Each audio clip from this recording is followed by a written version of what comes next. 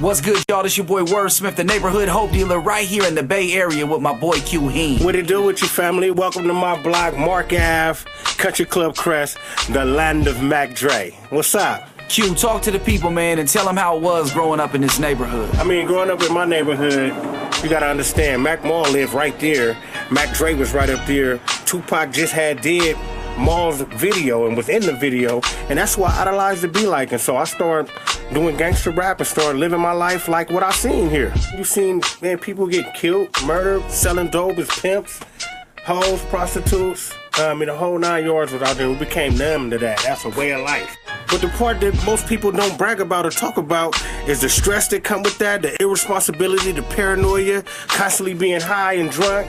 And listen, man, lightweight I almost I had a nervous breakdown, man. And that's the thing that led me to Jesus. And my whole life changed, right? And so I have to go back to the same dudes that I was idolizing and telling them I can't do this no more. And I'm thinking I'm in trouble with my homies. But when I got to Mac Dre and I told him that I was saved, he told me, man, I wish that I could be doing what you're doing. And he encouraged me to do gospel rap. So when you hear the Bay Area culture in my music, it feels so authentic to people because it came from a, the real source, Mac Dre.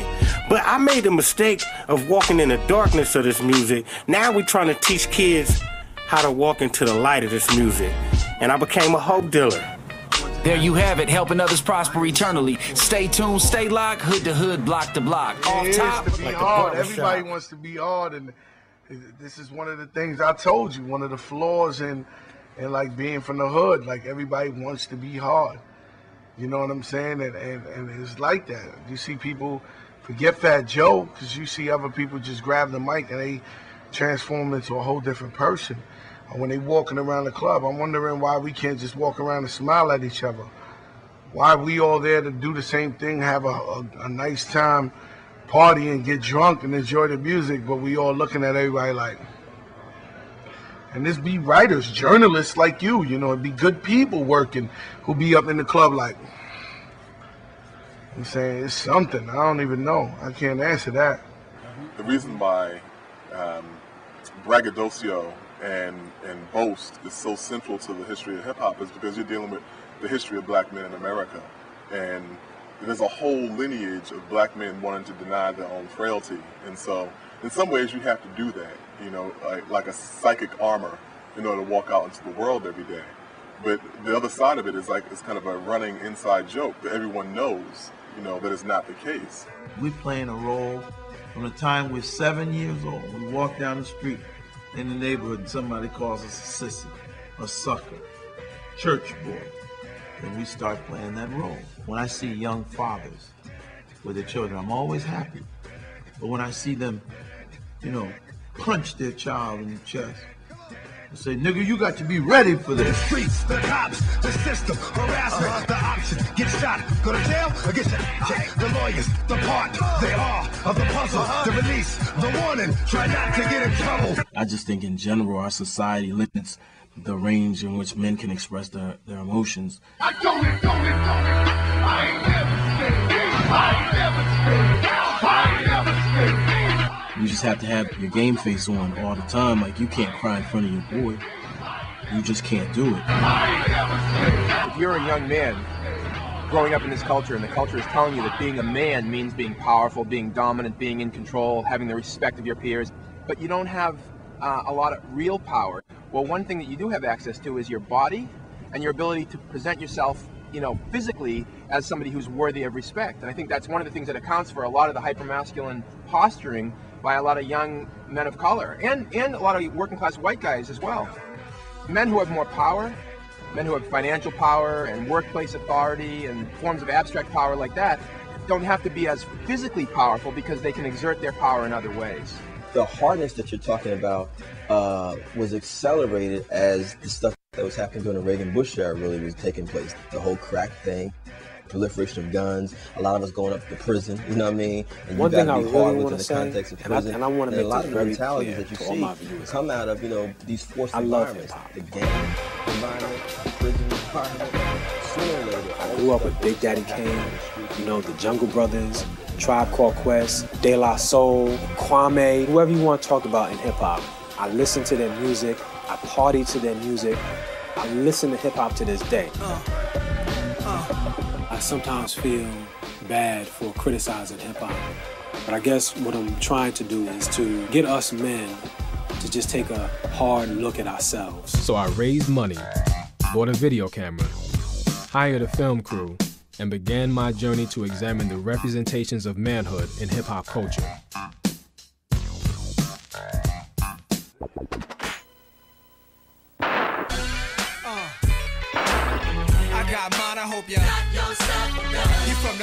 Some of the young people in hip hop are focusing in on the very deployment of the gun as the paraphernalia of masculinity, as the very symbol of what it means to be a real man. Violent masculinity is at the heart of American identity. If you're a young man growing up in this culture and the culture is telling you that being a man means being powerful, being dominant, being in control, having the respect of your peers, but you don't have uh, a lot of real power, well, one thing that you do have access to is your body and your ability to present yourself you know, physically as somebody who's worthy of respect. And I think that's one of the things that accounts for a lot of the hypermasculine posturing by a lot of young men of color and, and a lot of working class white guys as well. You talk about killing brothers like it ain't nothing. You know what I'm saying? And not not just you, but a lot of brothers. You know what I'm saying? Do you watch movies?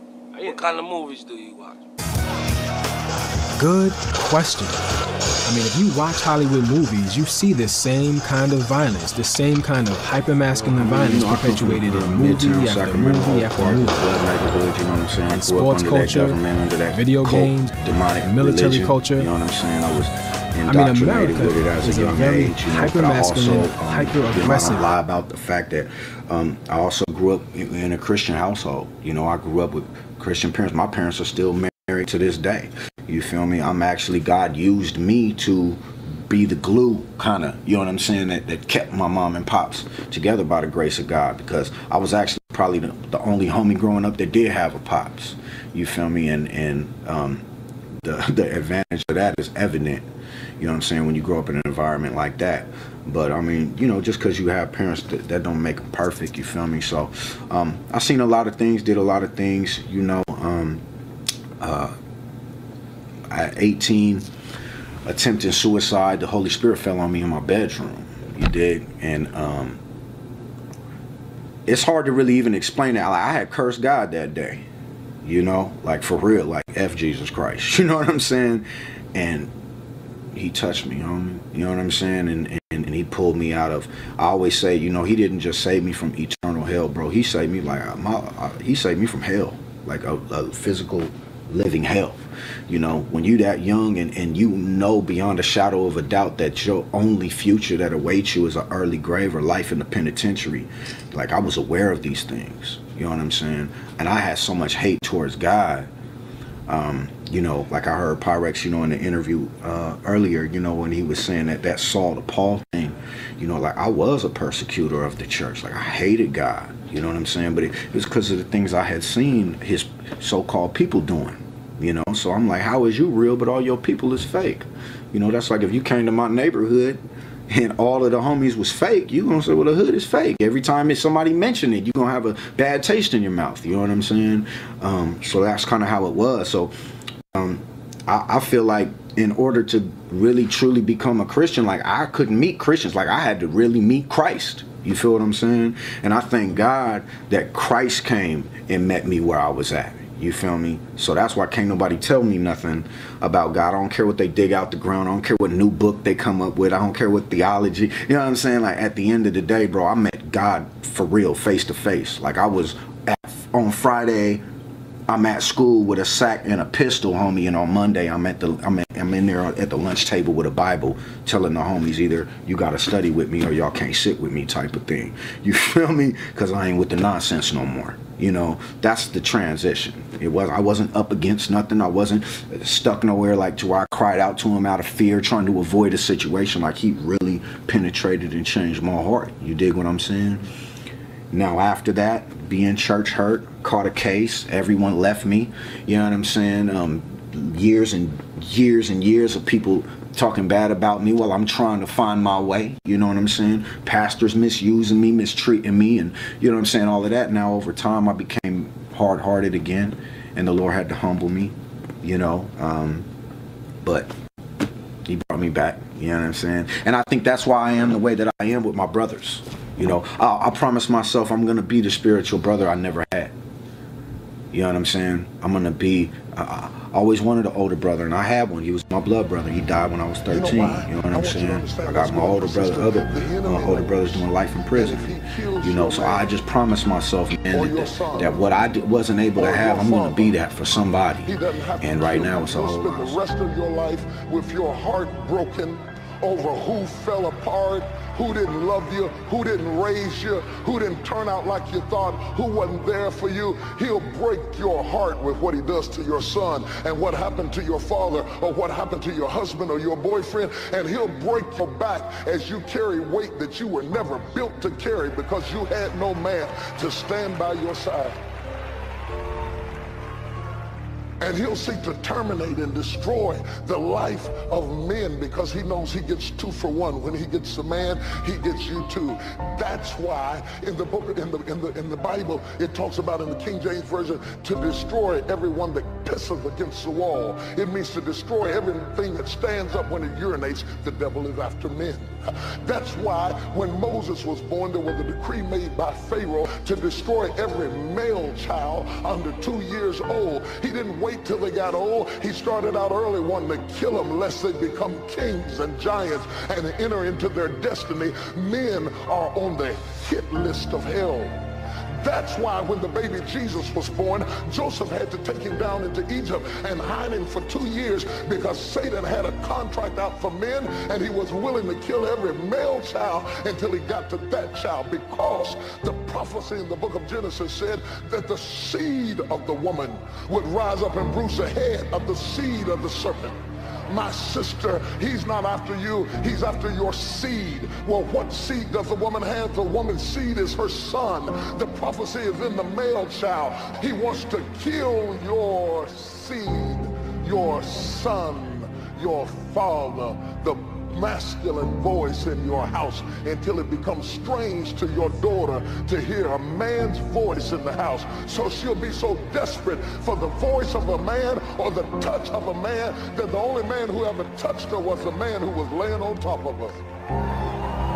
After the male child. That's why male children die of crib death more readily than women. More male stillborns than female. I don't just have to stay in the spirit, we can go in the natural. Our male baby boys die more readily at early ages, contract more diseases than their female counterparts. Hear me good. That's why insurance companies are predisposed to expect the man to die. They expect it so well that when a pastor builds a church, they want a key man policy on him. So if he terminates his life, the bill will still be paid. They expect him to die because he's a man, and that's what men do. They die. They expect it so well that they're advising women to have a plan because you outlive us by 10 to 15 years. We die. That's what we do. We die. We die with our backs bent over and our heads and our hearts broken, stressed out, wounded and hurting, trying to figure out what in the world happened to the dream we had. I'm not saying you're not a great woman. I'm not saying you're not a great wife. I'm not saying you're not a great mother. But it is difficult for a man to play a role in a house that he has never seen acted out in all of his life. And somewhere along the way, every man in this room has wanted to quit. And if he stayed, whether he took out the trash or not, and if he stayed, whether he got his degree or not, and if he stayed, and whether he's everything you want him to be or not, you owe it to him to tip your hat and say, thanks for. He is a good man is so hunted by Satan and sickness and disease and make love and make babies and make house payments and car payments and give you money to get your hair did and your nails did and everything else did and still be in a cave of confinement. Sex is no sign that he's happy.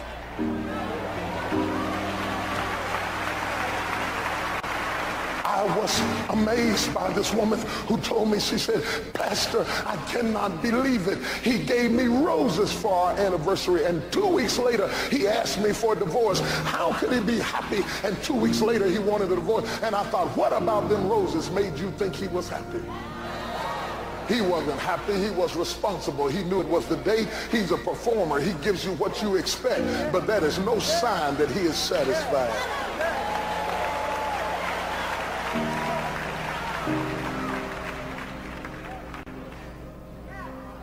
You see, we do what we think you want us to do. But that doesn't mean that we are happy. Alone. There are men in this room who are grossly alone. Why did you write He Why did you spend a year and a half developing book and music? And now, as busy as you are, why are you about to pass out running from city to city ministry? Because God said that if I would do it, he would break the curses and the bondages that are destroying our homes and our lives. And I have come to declare war!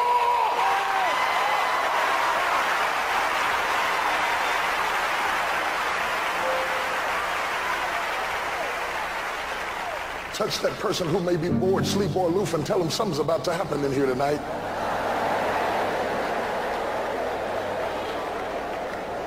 It is not good for man to be alone. We don't do alone well. We don't do alone well. Some men are so afraid of being alone while the relationship is falling apart. He reaches out and gets a woman on hold. So he's got her on standby like a spare tire. He gives her just enough love to keep her hanging on. It's not that he wants her, it's that he doesn't want to be alone. Why then, why would a preacher stop preaching for a minute and go this deep into personal relationships? I'm glad you asked. I'll tell you why. 80% of the suicides that occur in this country are committed by men. 80%, not 50, not 60, not 45, 80% of the people who drive cars off cliffs or stick guns in their mouth and blow their brains out are men.